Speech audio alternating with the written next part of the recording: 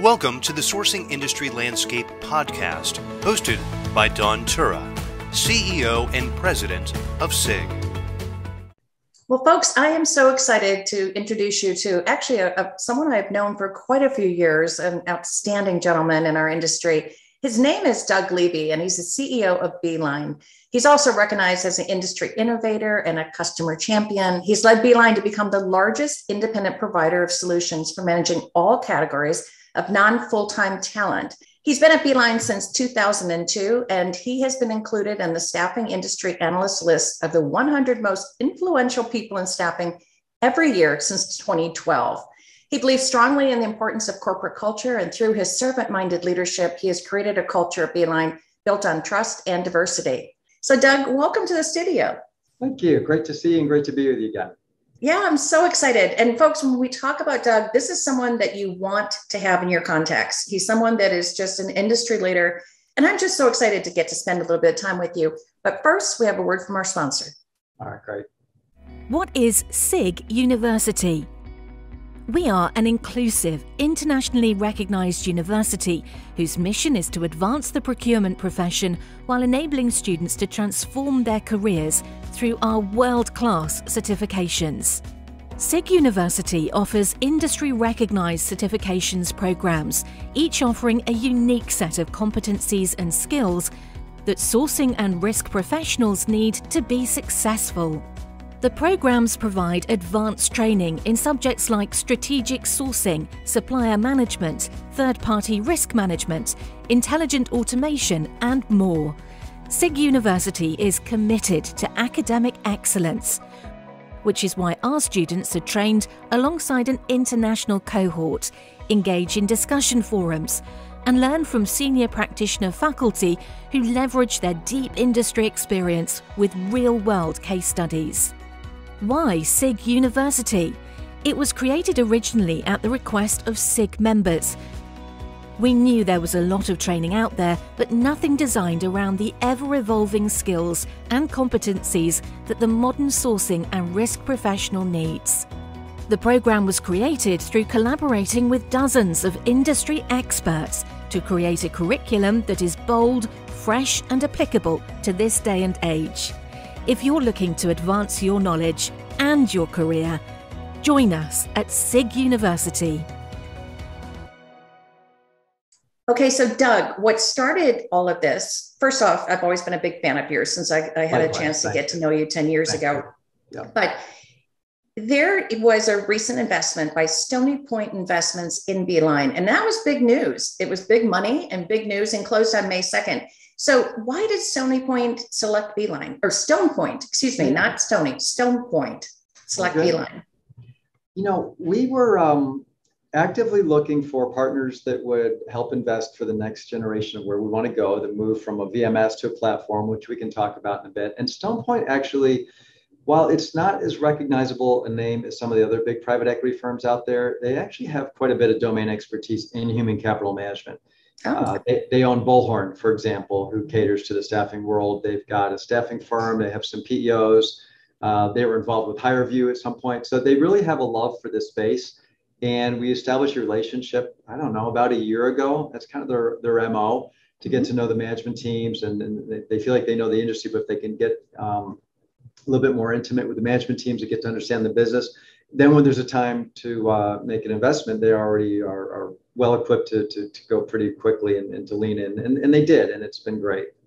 Wow. So it, one of the things that, of course, you know, hit me immediately is you have built such an amazing culture. People that work for Beeline love Beeline. They love their management. They have nothing but respect for everyone. Is that going to change at all, or, or, or did you already have a good culture fit with Stone Point? Yeah, you know, New Mountain Capital is actually a great partner for us for the last three and a half years, and I'm very, very, um, I just have a lot of gratitude for the time we spent together, and we matured in many, many ways. I think, you know, when I consider Stone Point's culture, it's actually pretty similar to ours. I mean, I've gotten to meet their chairman, their CEO, um, and then of course the deal team, and they're just really fabulous people who, as I said earlier, focus in on management teams, not just the business, and I think they appreciate our culture. And it's a great question, though, because when we announced the employee base, of course, this was a question as, as well. I think, Dawn, what, what is so exciting, you know, typically you get these press releases and people are like, oh, we've never been more excited. Like this one, legitimately, we are super excited about because we really like where we are in the market right now. You know, we've had a fair amount of success that we're proud of, but there's more we want to do. And, um, and it's going to require some investment, both from an internal perspective, meaning, uh, you know, we're in the road of digital transformation. I want to accelerate that, but also acquisitions. And and we only made one, a great one, JoinedUp, which handles the blue collar under New Mountain Capital. But there's three or four that I've been very enamored with, and I think we're going to have an opportunity to take a crack at some of those in the near future. Are you going to become a Stone Stone Point company, or are you still going to be Beeline? What does it look like moving forward yeah. for Beeline then? We're just a portfolio company in one of their funds, just like a Bullhorn would be or any of the other ones. So it's still for us business as usual, same brand, same management team, same technology, same everything we just have a new parent um, who's mm-hmm. hopefully going to invest in the way that I believe they will. That's awesome. So you talked about platform. Can I ask you about that? Because yeah, going from just a VMS, which is an incredible VMS, to a platform, tell me more. Yeah, a year ago, uh, last February, we announced the move from VMS uh, to a platform, meaning we think we have a responsibility to more than just one constituent. Clearly, for 20 years, we've been catering our services and, and, and our technology to the buy side, which is super important. However, you know, when you think about the evolution of this market, it used to be all about just cost savings, basically, and it was primarily focused on IT labor. And then over the last couple of decades, it expanded and it went international, and then you have services procurement, and, and of course, all things non-full time found their way into the fold. However, when you think about other constituents, you have managed service providers, you have staffing suppliers, you now have digital talent portal suppliers, and you have the talent itself. And we think as a platform, it's important for us to provide value to all those players and to recognize that we can be all things to all people. So we should be great at what we do. Mm-hmm. And that's the core, the hub from the enterprise out to the talent. Um, but think about all the interesting things that are happening out there that I think, you know, we wouldn't necessarily develop, whether that be video interviewing or or background checks or some of the things that are happening in the world of AI or assessments. Mean, there's a lot happening out there, but you have to create a platform so that you can basically handshake in via APIs so that we can go to our clientele and say, listen, in our opinion, this is a, a transformational talent journey. This is not just a procurement play, it's all about talent. And in that journey, we serve a very important role, but so do others as well. And so, what we endeavor to do is reduce friction both contractually because there's a lot of flow downs when you you know contract with Beeline that we can just work with our, our partners and technically as well. So the, the, the experiences are seamless. Uh, that's an overused word. They're much more elegant when they're integrated into the Beeline system as opposed to logging into a new system to do that which we think should be encapsulated in, in the ecosystem. So does that make sense? That that in essence is, is what we mean by the, the, the platform approach. Okay, so the platform approach, then where is the major change going to come in the contingent workforce industry moving forward? Yeah, so I think traditionally people looked at VMS rather myopically and said, okay, it's just a workflow engine basically to connect me to the staffing world to fill my roles and recs. A platform takes a broader view. I mean, we obviously can appreciate the shift of power over to talent. And, and, and so we need to do things for talent. Talent needs to understand, for example, the degree of fillability that they have for this particular role, or the fit with this culture, or the roles and the companies and the geographies that could be germane to them.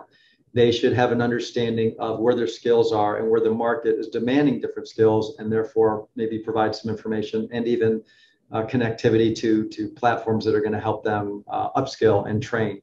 So we're obviously familiar with direct sourcing. We've been talking about that for a while. It's only now starting to really get some traction. Still early days, but a platform also has an approach that isn't just necessarily my direct sourcing platform connects you to this purveyor of talent. It's an open system that says, uh, and we always believe that the client should should dictate. You know, I've got some solutions that they want to use. That's great. If they want to use others, that's fine, so long as you know, Beeline's the hub.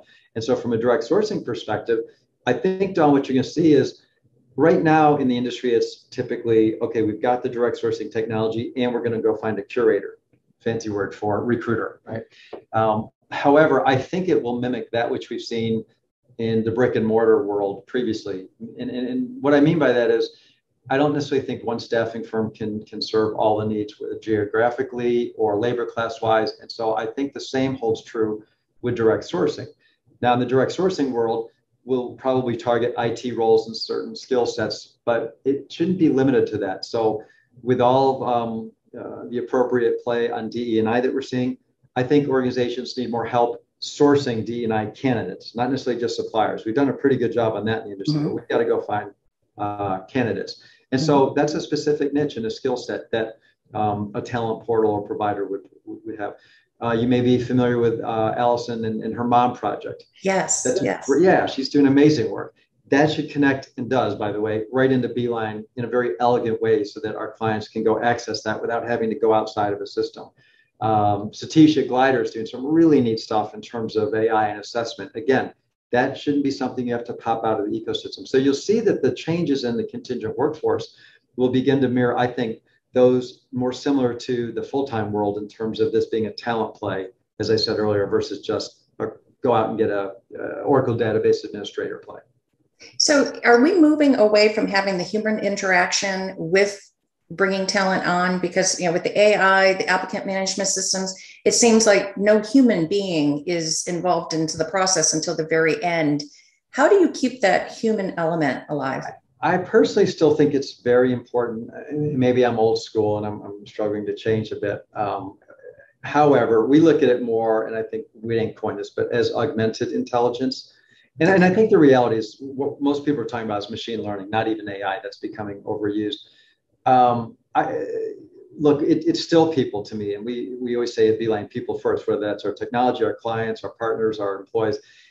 I have a hard time believing that the machine is just going to take over everything. I absolutely think it'll do a great job vetting and, and compartmentalizing in a way that maybe took a lot longer time frame um, or time with people up to date. But to the, to the notion that a machine is just going to make decisions, I, I'm just not there yet. And I know a lot of people think the managed services are going away. I don't see it. In fact, 70% of the deals we did last year had an MSP involved. I think their roles are changing, but I think that human um, intervention, maybe lack of a better word, or interaction with people is still very important. Yeah, I do too, and, I, and I'm glad you believe in the human being as part of the. I mean, we're talking about humans, and we're talking exactly. about right. yeah about their livelihood, yeah. and then totally, it's yeah. nice to have humans, you know, talking to humans along the yeah. way through the selection.